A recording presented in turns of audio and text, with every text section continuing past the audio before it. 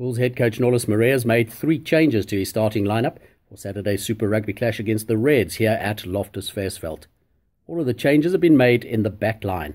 Bjorn Basson returns to action, replacing Jamba Ulengo on the wing. Ulengo's picked up a slight niggle, and coach Marais opted to rest him rather than take any risks this week against the Reds. Francois Brummer starts at fly half this week, switching with Tiaan Schoeman, while Rudy Paige makes a return to action after an injury layoff. He'll wear the number 9 jersey.